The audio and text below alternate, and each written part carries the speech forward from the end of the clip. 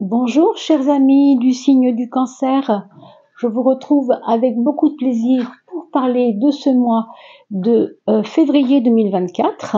C'est toujours un grand grand plaisir de vous retrouver et j'espère que je vous trouve surtout en très belle, euh, en très belle forme.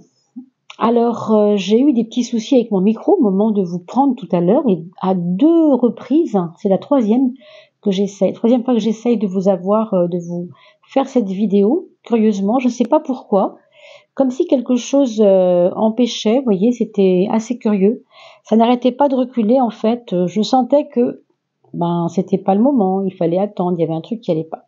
Bref, qu'est-ce que ça veut dire? Je ne sais pas, mais euh, je, vous, je vous donne ça un peu comme comme ça vient, hein, parce que vraiment je n'ai pas de j'ai pas d'idée sur la question. Simplement, euh, ça m'a un petit peu surprise, parce que c'est quand même assez inhabituel.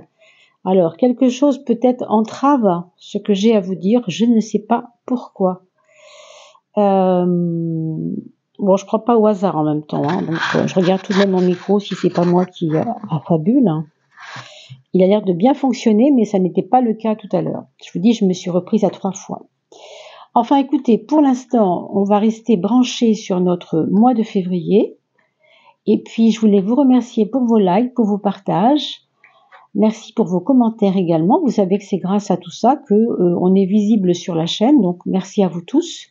Et bien sûr, bienvenue aux nouveaux abonnés. Puis, comme il n'est pas trop tard pour vous souhaiter la bonne année, ben voilà, bonne année à tout le monde parce que voilà, on est encore en janvier. Hein, euh, c'est vrai que quand vous regarderez la vidéo, ben, on sera peut-être passé de l'autre côté, février déjà, mais voilà. Le mois de février, pour vous, mes amis, Cancer. Quelque chose dans la mémoire qui vient euh, bloquer le jeu, qui vient euh, ou bloquer le jeu ou alimenter quelque chose. Euh, alors ça a à voir avec des solidités dans votre famille. Il y a des patriarches dans votre famille, des gens qui ont compté et qui ont certainement été marquants même pour votre famille entière. Hein. C'est pas c'est pas un petit truc. Hein. C'est vraiment, on vous parle de quelqu'un qui a vraiment marqué euh, sa génération à l'époque. Hein. Et euh, pourquoi c'est important maintenant? Parce que euh, vous vivez en ce moment des résidus, si vous voulez, de cette époque-là. Peut-être c'est votre enfance, peut-être c'est quelque chose qui jaillit de votre enfance, mais qui va vous faire du bien finalement aussi. Hein. Ça peut ne pas être difficile, au contraire. La mémoire, c'est aussi savoir regarder derrière moi ce qui m'a fait du bien, ce qui m'a alimenté, hein, mais aussi peut-être euh, également euh, tout ce qui euh, n'a plus lieu d'être. C'est vrai qu'avec les, vibrations cristallines ici, cette espèce de, gros bloc de, de, de pierre brute, on pourrait dire, et dorée, on voit bien qu'il y a de la résistance, il y a de la solidité, et que donc euh, les exemples que vous avez reçus peut-être des anciennes générations de votre famille, bah, aujourd'hui vous font réfléchir sur vous et euh, en février peut-être qu'il y aura quelque chose qui va euh, vous emmener vers ces, ces souvenirs-là. Alors sous quelle forme, moi je ne sais pas vraiment, mais bon, vous le verrez, puis faites-moi des commentaires, ça peut être très intéressant de partager ça. Hein. La carte de l'inconnu nous parle de, de difficultés à, avoir confiance dans quelque chose.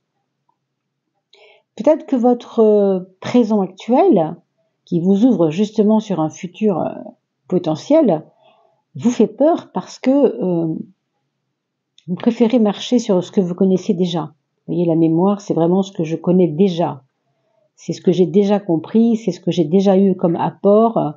J'ai pas besoin d'autre chose. Des fois, on a besoin d'autre chose. Des fois, on a besoin aussi de bah, d'inconnu, oui, de renouveau, de, quelque chose qui va nous obliger à être euh, un peu dans une attente. Alors, c'est pas une attente, mais plutôt un accueil, un accueil de quelque chose qui doit arriver.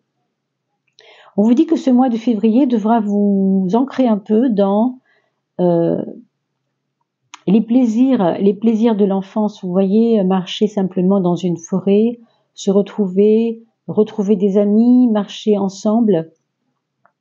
Ça peut être seul ou avec tout, avec beaucoup de gens, ça. Hein. C'est vraiment quelque chose. Euh, vous voyez, le soleil revient, on arrive à, à une période peut-être plus intéressante pour beaucoup d'entre vous, où vous allez vous ressentir. Je sais pas, je ressens comme un, avec cette carte aussi de la solidité. Si vous regardez bien, ces deux cartes-là sont vers le futur, dont toutes les deux, mais nous montrent du doré, nous montrent de la couleur orange, de la couleur de l'or ange, hein, or et ange. Donc ça nous emmène vers des choses euh, plus lumineuses, plus apaisantes aussi, je sens. Hein. Peut-être une période où vous allez vous retrouver bien dans votre corps. Hein. C'est ça que j'entends. Possiblement reprendre le jogging, vous voyez, des choses comme ça. Euh, ou la marche, tout simplement, euh, respirer, tout simplement. Hein. On nous parle d'un voyage, alors, ou à faire, ou déjà fait, puisqu'on parle du, passé, donc en ce moment, ou bien vous en revenez à l'instant, et euh, ce qu'on vous dit, c'est que ce voyage vous aura certainement fait comprendre des choses sur vous-même pour que vous cessiez de vous critiquer. On vous dit ici d'arrêter de vous critiquer, prendre euh, un voyage, faire un voyage, prendre le temps d'aller euh, voir ailleurs si l'herbe est plus verte, ça permet aussi de comparer ensuite ma vie avec celle de ceux que j'ai vus en voyage. Hein. Ça permet aussi de relativiser et du coup de d'avoir un peu plus de bienveillance. Mais on vous dit quand même de prendre du recul par rapport à vos problèmes. Alors, cette carte de gauche, on la prend jamais quand on parle de la coupe, bien sûr. On va prendre celle de droite et on nous parle de projet réalisation en septième de coupe. Donc, on nous parle ici de couronnement quelque part vers des choses qui vous intéressent de vivre maintenant. Il y a de l'inconnu dans ce que vous allez découvrir, c'est une chose, mais il y a aussi des liens avec, encore une fois, tout ce que vous avez mémorisé, peut-être des formations que vous avez faites aussi, peut-être le savoir-faire d'un aïeul, peut-être le savoir-faire d'un grand-père, d'une grand-mère, d'une maman, euh, un parent qui aurait, euh, par exemple, qui est doué, je dis n'importe quoi, pour la peinture ou pour euh, quelque chose, voilà, comme ça, et vous sentez que cette fibre-là, elle vibre en vous en ce moment. Ça peut arriver aussi, hein, ça peut être comme une, réminiscence du passé à travers vous, mais pour en faire quelque chose. Il n'est pas question de rester dans le rêve. Là, il est question vraiment de d'aller réaliser quelque chose, mais ça passe par la bienveillance, ça passe par je ne me critique pas. Mais on comprend pourquoi. Comment je vais faire pour concrétiser quelque chose qui me tient à cœur si je passe mon temps à me critiquer? Ça peut pas coller. C'est pas c'est pas cohérent. Hein Donc euh, choisissez un camp, mes amis, mais euh, entre les deux, c'est juste pas possible. On va regarder les douze maisons du zodiaque. Donc, voilà, on est parti pour la maison 1, 2, 3, 4, 5, 6. On va euh, voir un petit peu quels sont les, domaines où ça risque de bouger davantage, bien sûr. 4 et 5 ici, donc je suis pas sur 6 ici, il en manque une. Alors la sixième, ce sera celle-ci. Et voilà un petit peu le tableau. Alors, on va d'abord regarder votre point fort, c'est-à-dire euh, vos, votre meilleur atout hein, pour ce mois de février, par exemple. Votre atout. Là où vous devez aller, en fait. De quoi vous, devez vous servir. On vous parle de la roue du temps. Vous voyez cette mémoire, c'est lié à la roue du temps. Pour moi, il y a eu des gros progrès de votre part. Vous devez le sentir quand même. On a parlé tout à l'heure de ne pas se critiquer. En fait, vous êtes partagé entre cet euh, état de tout le temps vous critiquer et en même temps euh, de, en ce moment, de ne, de ne pas avoir besoin de vous critiquer. Vous n'avez pas besoin de vous critiquer. Simplement, vous ressentez que c'est, euh, comment on pourrait dire ça? C'est comme si euh, vous étiez en même temps poussé à, aller plus loin. C'est vraiment le, temps vous pousse, la vie vous pousse.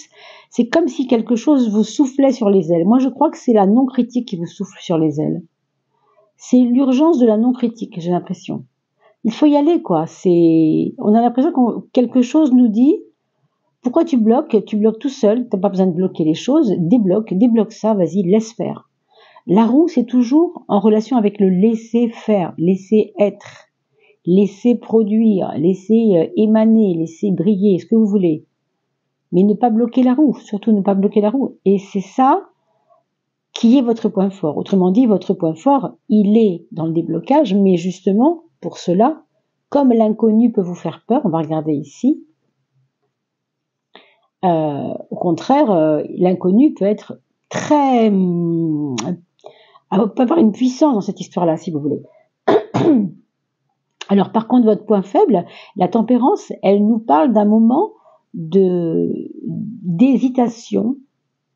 Alors c'est compliqué parce que vous devez avancer, vous le savez, vous ne devez pas vous bloquer. Et la tempérance vous dit oui mais attends, j'ai des réglages à faire. Vous voyez, j'ai des réglages à faire. Alors simplement, ce que je vous dis ici, c'est euh, dans votre vie au mois de février, attention à ce que ces réglages que vous avez à faire ne deviennent pas des, des, des comment on peut appeler ça? Des, des tocs quoi voyez? Parce qu'un réglage c'est bien de le faire mais si, ça devient un toc c'est plus du réglage vous savez c'est l'histoire de la personne qui, qui se persuade que sa maison est restée ouverte elle se lève trois fois avant de se coucher enfin avant de s'endormir parce qu'elle est persuadée qu'elle a laissé la, la porte ouverte elle veut absolument faire ses réglages et du coup, elle n'enregistre pas qu'elle a déjà fait le réglage. Vous voyez, c'est c'est un peu ça cette carte, hein, ce qu'elle me dit ici en point faible. Donc euh, méfiez-vous-en tout de même, de pas vous enfermer dans euh, je veux bien faire, je veux trop bien faire. Euh, bon, vous faites ce que vous pouvez, puis s'il y a des erreurs, ben, vous, vous réajusterez. Voilà. Hein. Le chariot, c'est la maison 6, c'est la maison du travail, la maison du quotidien, souvenez-vous. Cette maison 6 qui parle aussi de l'organisation de la santé, du coup, elle est hyper bien affublée, on va dire. Elle est bien euh, aspectée parce que le chariot, c'est vraiment la carte de la chance. Quand je parle de chance, je parle de euh, avoir les moyens de faire. Vous voyez, c'est vraiment euh, ne pas hésiter, y aller franchement. Dans votre, dans votre travail, du coup, ce qu'on vous dit ici, c'est que tout paraît plus clair, plus fluide, j'ai envie de dire. Il y a des personnes qui vous avaient tourné le dos, qui reviennent vers vous, je pense aussi. Il peut y avoir aussi des personnes, sans vous avoir tourné le dos, qui simplement ne vous comprenaient pas, ou qui n'adhéraient pas à ce que vous expliquez. Euh, euh, si vous êtes formateur, par exemple, dans votre travail, il y a des choses qui ne passaient pas. Et ici, si vous êtes formateur, c'est plutôt euh, quelque chose qui va vous emmener, vous tirer vers le haut. Si vous êtes chef d'entreprise, ça va plutôt pas mal fonctionner, hein. ça va plutôt bien fonctionner. C'est une carte de chance, une carte, une carte où on avance. Et sur le plan de la santé, évidemment, ben ça, ça montre aussi que vous êtes déterminé à aller mieux, à aller de mieux en mieux. Donc, euh, vous vous prenez en charge et rien ne vous empêchera d'aller mieux parce que c'est votre désir en fait, hein, c'est votre besoin. On voit même une possibilité d'alliance dans le monde du travail, ou bien parce que votre société va fusionner avec autre chose, ou bien euh, parce que euh, dans votre travail, vous sentez qu'il y a une équipe qui est plus soudée qu'avant, je sais pas. Vous me faites des commentaires sur tous mes amis. Hein. C'est important pour nous aussi de pouvoir vous lire pour voir un peu comment a résonné ce tirage. La maison 7, on en a parlé quand on parlait d'association à l'instant. Euh, c'est la carte du pape qui, euh, qui va l'interpréter, qui va, qui va être reliée à elle. La relation aux autres va donc être basée sur la confiance, comme on vient de l'expliquer, sur aussi euh, la soif de connaissance. C'est pour ça que je parlais de formation aussi. Ça peut être lié à une personne qui vient dans votre entreprise ou dans votre cabinet ou ou peu importe hein, tout ce qui est tout ce qui est en relation avec votre travail et qui vient vous enseigner quelque chose qui va vous faire énormément grandir, qui va vous transformer, je sais pas si on peut dire ça. On a parlé d'inconnu tout à l'heure, non? Et moi, j'ai l'impression que c'est relié à ça. C'est pas quelque chose que vous maîtrisiez avant. C'est quelque chose qui arrive à vous, qui va vous faire du bien, qui va vous sembler intéressant à, connaître, mais qui, évidemment, sur le coup, va vous surprendre par le contenu. Imaginons que vous soyez, euh, je sais pas moi, vous travaillez pour un organisme euh, qui vend des casseroles, je sais pas, hein, dans, un endroit, voilà, euh, un site, euh, je sais pas quoi, mais pour l'équipe, votre patron a voulu que ce formateur vienne vous initier à l'hypnose ou n'importe quoi, je ne sais pas quel domaine, et ça va vous surprendre, mais en fait, vous allez gagner beaucoup, beaucoup, beaucoup. on l'a vu tout à l'heure en solidité. C'est un petit peu tout ça. Qu'est-ce qu'on a dans la maison 4 L'étoile. On nous parle d'un foyer plutôt, euh, alors, heureux pour certains, parce que ça c'est clair que ça va être quelque chose d'assez joyeux, assez serein, je dirais, c'est pas vraiment le mot joyeux qui vient, mais euh, serein, euh, où les choses n'ont pas besoin d'être réfléchies dix ans quoi pour pour pour se faire. On est assez intuitif avec ses enfants et avec ses parents, avec la famille en tout cas, et euh, les non-dits se délient. Vous voyez, on a besoin de laisser les gens s'exprimer. Je ne dis pas qu'il va y avoir des secrets qui vont être divulgués, c'est pas à ce point-là. Ça pourrait, pourquoi pas. Mais c'est surtout que euh, a euh, on a le goût, si vous voulez, ici de laisser parler l'autre dans le foyer, de laisser les gens s'exprimer. Peut-être pour certains, vous allez faire des ateliers de dessin, des choses comme ça, des ateliers avec les enfants pour pour que tout le monde soit joyeux. Euh, je sais pas, ça va être la, la, chandeleur bientôt, ce que c'est ça, je sais pas, mais il y a comme ça une petite osmose de joie, un petit, un petit moment joyeux. Hein Alors ici, c'est votre maison 10, elle représente ce que vous devenez dans le futur. Et là, nous parlons de février. Vous voyez, cette transformation, elle est puissante. Hein elle est hyper puissante. Hein je suis pas étonnée que vous ayez eu beaucoup de blocages avant. C'est un peu ce que j'ai vu tout à l'heure quand j'ai eu ces trois pannes de micro là, avant d'arriver à vous faire cette vidéo. Euh, il y a tellement de puissance en vous de vouloir changer les choses que ça peut même vous donner un peu mal au ventre quelquefois. Vous voyez, c'est pas toujours confortable. Pour certains, ça peut être la boule au ventre, d'autres euh, des insomnies, euh, des choses un peu comme ça. Hein. Mais euh, au bout du compte, ce n'est pas grave, vous avancez quand même. Et si ça vous demande des petits, des petits inconforts, bah écoutez, prenons-le comme comme quelque chose de naturel, de normal. Hein. On, ne fait pas d'omelette sans casser deux, comme dirait l'autre. Et puis voilà. Hein. Sur le plan de l'amour, on a le pendu. Ça nous dit un peu que c'est peut-être pas pour vous là euh, le, le, le domaine le plus évolutif. Hein. On vous dit que là, bah, les choses continuent tranquillement et que euh, c'est peut-être pas euh, voilà une grosse période hyper faste là-dessus.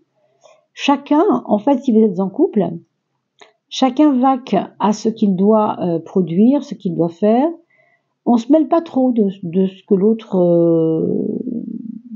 aurait envie de, dire ou de faire, c'est pas c'est pas trop notre problème. C'est pas qu'on s'en moque, mais on est un peu euh, sur son sur son projet à soi. Hein? On peut pas parler de symbiose ici, hein, mais pour autant il n'y a pas de dispute. Vous voyez, avec le pendu, c'est quelque chose de plutôt calme, plutôt tranquille. Peut-être que l'autre aussi attend de vous quelque chose qui ne vient pas. Hein. Dans ce cas, il peut y avoir un côté sclérosé, alors, vous ou l'autre, hein, évidemment, ça peut ce que je vous dis là, ça peut être dans l'autre sens. Hein. On parle de l'amour ici. Au niveau de l'affect, on peut peut-être vous sentir un peu lointain ou un peu occupé à autre chose qu'à aimer, quoi. C'est pas votre propos en ce moment. Ou peut-être c'est l'autre qui pense cela de vous, ou peut-être c'est vous qui pensez ça de l'autre, hein, ce que je vous ai dit dans les deux sens. Pour les célibataires, c'est le calme plat. On vous dit que la rencontre n'est pas, en tout cas, euh, à prévoir pour février si vous en attendez une.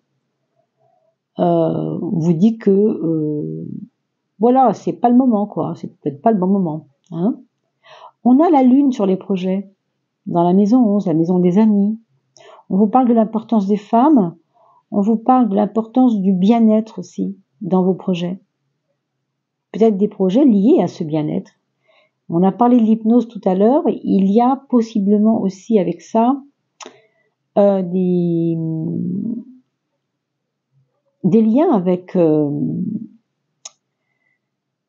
Euh, les neurosciences, vous voyez ce que je veux dire, le bien-être, mais par l'esprit.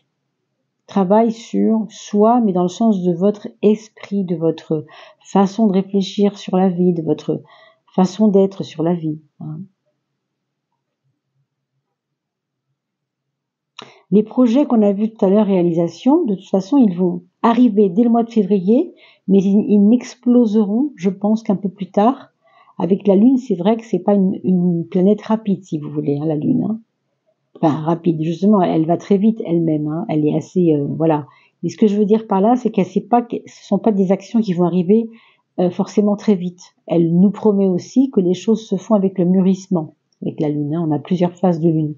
Vous voyez bien ce que je veux dire. Hein j'ai peut-être mal exprimé, pardon, hein, mais bon, réécoutez la vidéo, peut-être que c'est plus clair après. La justice nous parle de votre mental. Donc on a un mental qui est ici relié à euh, l'idée de bien faire. On a vu, on l'a vu tout à l'heure déjà, le côté perfectionniste un peu qui qui veut pas que les choses se fassent vite et mal en fait. Hein. Euh, on veut, euh, on veut une, on veut aussi être compris.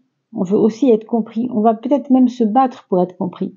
Je parle de, se battre à cause de cette carte-là qui est quand même assez virulente, parce que euh, être compris pour vous, ça c'était pas forcément important avant, mais ça le devient maintenant. Vous êtes dans une phase où vous avez envie euh, qu'on vous prenne pas pour ce que vous n'êtes pas, en gros. S'il y a eu des critiques, vous allez vous en moquer, et tant mieux, parce qu'on voit bien que vous, vous avancez quand même, tout est parfait. Hein. Sauf que euh, vous ne voulez pas qu'on se trompe sur vous. Vous ne voulez pas que les gens se trompent sur vos intentions, peut-être. Hein. vous voulez que ce soit juste et que les choses soient justes et que les euh, impressions qu'ils ont de vous soient justes aussi. Donc vous allez peut-être faire des efforts, je pense, d'expression pour, pour être mieux compris. Alors vraiment, ça, ça va aller dans tous les plans. Hein. Au bout du compte, vous voulez être compris parce que vous ne voulez pas, encore une fois, que votre image soit ternie. C'est pour ça aussi que, à l'instant, je vous disais bizarrement, mais c'est relié à cette carte-là. Hein, je ne savais pas que le, jugement arriverait juste après. Et pourtant, c'est ça de ça que ça parle. Ça nous parle d'image de soi, de l'importance de ne pas être pris pour quelqu'un qu'on n'est pas. Euh, c'est important pour vous. Oui, c'est vraiment important pour vous ce mois de février de dire attends, là tu te méprends, ça fait quand même six mois que j'entends des critiques là-dessus et ça me fatigue. Moi, je suis pas comme ça. Il faut que tu saches que voilà, moi c'est comme ça. Je, vais te dire comment je fonctionne et vous, vous allez y aller cash quoi. Hein. C'est aussi euh, cette espèce de hum, force de persuasion que vous allez retrouver avec la roue de la fortune dans la maison 1. C'est que vous n'allez pas laisser se bloquer les choses. Si vous voyez qu'il y en a un qui boude dans votre famille, votre travail, vos amis, quand je dis qu'il boude, je veux dire qu'il se fait remarquer par son côté euh, euh, je la comprends pas, je le comprends pas, bref. Vous allez y aller, quoi. Vous allez y aller pour permettre à cette personne de mieux vous comprendre, justement. Vous n'allez pas laisser les choses au hasard. Hein. Vous allez vous faire confiance, du coup. Pour finir avec euh, l'aspect matériel, on vous dit de vous détacher de ce qui est matériel, non pas qu'il faille se fiche évidemment de, tout ce qui est euh, argent, etc. C'est pas le but et personne ne vous conseillera jamais ça. Les gens font ce qu'ils veulent, on a toujours une part de libre arbitre. Hein. Mais, pardon, l'attachement que vous avez en face de ces choses qui sont du domaine matériel, c'est-à-dire quelquefois la panique, la peur, le fait de ne pas euh, avoir, avoir euh, l'impression de tenir les cordons de la bourse, vous voyez par exemple, parce qu'on sent qu'il y a des choses qui vous titillent quand même, euh, dans, l'envie de bien faire, dans l'envie de mieux gagner votre argent aussi peut-être. Pardon. C'est important de, de laisser la part de liberté. Quand je parle de liberté, je parle de liberté d'être, liberté mentale. Si vous êtes trop attaché à cet argent que vous avez du mal à gagner, ou peut-être du bien à gagner, je ne sais pas, euh, c'est, ça vous rend pas libre ça vous rend pas libre. Donc, euh, vous allez vous en rendre compte par vous-même, je pense. D'où cette importance de vous dire bon, bah très bien. Si ce mois-ci je n'y arrive pas, est-ce que c'est grave, docteur? Non, puisque le mois prochain ce sera peut-être plus fluide. Hein Encore une fois, je vous dis ça parce que c'est pour la forme, vu que ce, ce mat nous parle toujours de détachement. Hein quand on parle d'argent, c'est là où il est situé, mais nous avons quand même ce chariot qui, vraiment qui trône dans votre maison 6. Je serais quand même étonné que ce soit des gros ennuis. Hein. Cela dit, sur le plan de votre transformation intérieure, c'est l'ermite. Donc c'est un mois de février où chaque pas que vous allez faire va vous sembler euh, peut-être euh, important. On parlait tout à l'heure, vous rappelez-vous, euh, dans, la, dans la coupe de solidité. Ben, c'est un peu ça. Votre transformation intérieure, elle est là pour vous rendre solide. Donc ne fuyez pas ces choses de l'inconnu qui font partie de votre transformation parce que précisément elles vont vous rendre de plus en plus solide. Alors on a parlé de voyage tout à l'heure. Pour certains pour qui ça marque un peu, ça pourrait être Venise, ça pourrait être des lieux comme ça où il y a de l'eau. Hein, avec la lune évidemment, on nous parle de... Euh, vous savez la chanson Syracuse, c'est drôle, j'entends Syracuse en même temps, je ne sais pas pourquoi, mais euh, pour vous dire, moi je suis très mauvaise en géographie, hein, c'est des mots qui viennent comme ça mais peut-être euh, même la Sicile, enfin, vous voyez, l'Italie, euh, par là, quoi. Pour certains, en tout cas. Hein. donc, vous me mettrez bien sûr des commentaires. On va regarder quelle est la planète qui va vous accompagner, mes chers amis cancer, pendant le mois de février. La planète qui va être la plus importante pour vous, ce sera Neptune. On vient de parler d'eau. Drôle, hein L'eau, Neptune gouverne l'eau, mais il, gouverne l'eau de l'imagination. Donc il va vous, demander ici de, ne pas être trop cartésien pour autant, de ne pas, vous permettre de rêver de temps en temps. On a parlé tout à l'heure de projet réalisation. Eh bien, euh, on pourrait dire que euh, quand on ne rêve pas assez, bah, du coup, euh, les rêves, ils vont rester, ils vont rester bloqués, ils vont pas, ils vont pas être alimentés par notre imagination. Hein donc une chose, c'est être cartésien, vouloir réaliser les choses, et autre chose, c'est alimenter mon, mon, projet par ce rêve dont j'ai besoin. Donc on vous dit de, de, de, oui, de cultiver quelque part l'imagination, le rêve. Hein, c'est plutôt une bonne chose. Peut y avoir avec ça du bateau dans l'air. Alors des, des, des balades en bateau, des, croisière à faire, je ne sais pas trop. On a parlé d'eau de toute façon tout à l'heure déjà, ça pourrait assez bien rejoindre la chose. Hein. On va avoir euh, un petit, une petite aide supplémentaire avec euh, le Gold Foil Tarot, la feuille d'or, pour voir un peu euh, dans ce cheminement du mois de février s'il n'y a pas quelque chose qui vient vous parler. Celle-ci, le 6, The Lovers, c'est-à-dire les amoureux. Dans, le tarot de Marseille euh, traditionnel, on appelle ça l'amoureux. Là, on en met deux, mais c'est pareil, c'est pas important. Ça nous parle de choix à faire. Ça nous parle de choix à faire, de concrétisation aussi de choix à faire, mais aussi d'harmonisation. Alors, à la fois, vouloir être dans l'harmonie, pour vous, c'est important. À la fois, vous avez un point faible qui va vouloir absolument régler, comme je vous ai dit tout à l'heure, les choses au point de tellement être perfectionniste que ça peut vous perdre. Donc je crois que pendant ce mois de février, votre challenge, ce serait peut-être de euh, à la fois que votre envie d'harmonie ne devienne pas un toc. Voilà, en gros c'est ça. Synchronisez-vous avec ce qui est bon pour vous, mais sans que ça devienne une, obsession quelque part. Hein.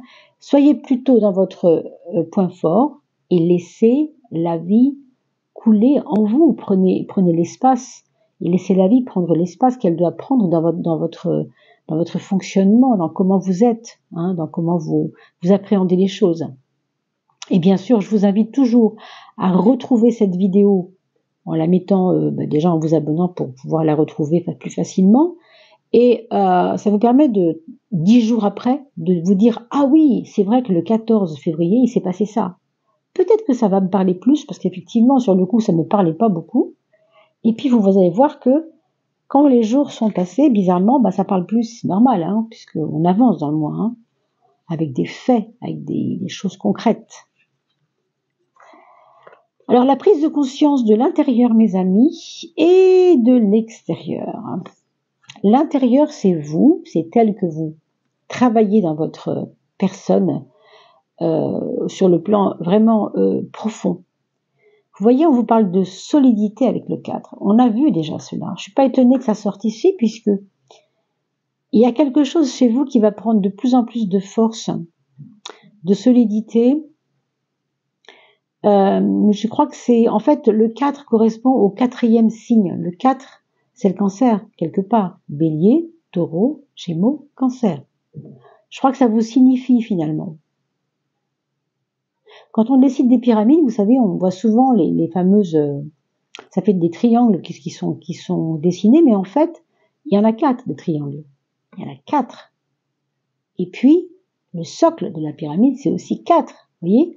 Cette puissance d'ancrage, elle est quand même hyper importante. Donc pour moi, c'est, je sais pas, je vous reparle de cette histoire de mémoire et de votre, peut-être votre grand-père, votre, quelqu'un qui a vécu avant vous, qui a commencé à travailler sur lui dans ce sens. Et avec la carte de la mémoire, ce que ça dit, c'est que vous retrouvez cette énergie du grand-père, de la grand-mère, peut-être un arrière-grand-père ou un arrière-grand-oncle. Hein. Renseignez-vous auprès de, votre famille, vous pourriez être étonné. Je n'ai pas de prénom à vous donner, malheureusement, ça vient pas comme ça, des fois ça peut venir. Mais là, tout de suite, c'est quelqu'un qui a vécu avant vous et qui connaît bien votre famille et qui a commencé une œuvre. Et bon, vous reprendrez peut-être le flambeau. Mais c'est vraiment intérieur pour l'instant ce 4. Hein. Ici, ce qu'on vous dit, c'est que au niveau extérieur, on vous demande de soigner votre communication. Je suis pas étonnée. Je suis pas étonnée. On a parlé tout à l'heure, rappelez-vous, de bien dire les choses, bien se faire comprendre et euh, ne pas laisser les gens croire des choses sous prétexte que vous ne les expliquez pas. Ah oui, si vous ne dites rien, bah, ils vont croire des choses, c'est évident. Donc, manifester cette expression, c'est important. Vous voyez comme quoi euh, il n'y a vraiment pas de hasard. Hein. Donc, l'accent, il est mis là-dessus, hein, pour le monde extérieur, donc pour vos relations avec les autres, pour le sens de ce que vous pratiquez dans votre vie pour ce mois de février, etc., etc. Allez, je ferme les yeux pour mieux sentir les cartes dans mes mains et ne pas être euh, attiré vers les couleurs, bien sûr, sinon c'est un petit peu trop simple. Alors, mes amis, euh, cancer ou ascendant cancer, allez voir aussi, bien sûr, hein, si vous ne l'avez pas fait, votre ascendant sur le, le site Evozen, E-V-O-Z-E-N. Alors, mes amis, mes amis, mes amis, la connexion corporelle, la reliance, le corps, le mental. Et oui, parce que dans le corps, vous avez aussi ce petit cerveau qui fonctionne, évidemment. Hein. Il fait partie du corps. Et le refuge. Le refuge parce que c'est à l'intérieur de toi, évidemment, que tu peux prendre toute ta force, et on en a beaucoup parlé, donc je ne vais pas euh, aller encore dans ce sens, mais c'est important. Vous voyez ici, on voit quelqu'un de complètement centré. L'extérieur, c'est l'extérieur, mais moi je suis à l'intérieur. Donc reconnectez-vous à l'intérieur de vous. Allez voir bien sûr la playlist que j'ai mis en, en, ligne il y a quelques jours euh, sur le, la saison de l'âme, euh, saison d'hiver de l'âme. Vous le trouverez dans la playlist hein, qui s'appelle Les saisons de l'âme. Ça va vous permettre aussi de voir où vous en êtes de votre parcours d'âme, on va dire. Être dans ta tête est nécessaire parfois. On a beaucoup parlé du mental, hein, mes, chers euh, cancer. Mais tu peux être dans ta tête, c'est nécessaire parfois, mais reviens le plus souvent dans ton corps, à tes sensations corporelles. Être dans ton intériorité, être en toi, pour à la fois reposer ta tête, hein, on a vu ici, hein, dans les choses de l'amour, on a la tête retournée, comme pour dire je souffle un peu de tout ça, euh, la passion amoureuse c'est bien gentil, mais je me suis peut-être un petit peu épuisée, donc du coup je mets ça à l'envers pour euh, voilà pour me reposer un peu. Hein. Ça peut être ça, ça peut être aussi d'autres domaines, mais en fait le pendu est arrivé ici, donc c'est pour ça que j'en parle dans ce sens. Pour à la fois reposer ta tête et maintenir cette connexion en toi. Celle-là même qui te permet de vibrer et d'être en vie. Et je vous ai parlé tout à l'heure de la reprise du sport pour certains, ça peut aller jusque là pour que votre corps soit vraiment euh, remis en, mouvement quelque part. Hein. C'est quand même une carte qui nous parle de mouvement, cette carte. Hein.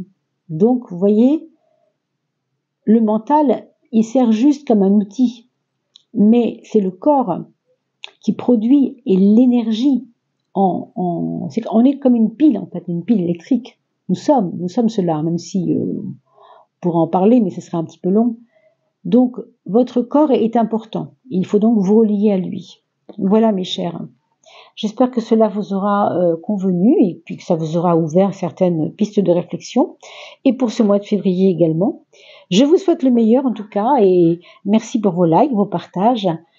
Et merci aussi pour vos commentaires que je lis toujours avec beaucoup d'intérêt. En tout cas, je ne suis pas la seule puisque tout le monde a de l'intérêt à lire vos commentaires. Alors à bientôt et portez-vous bien.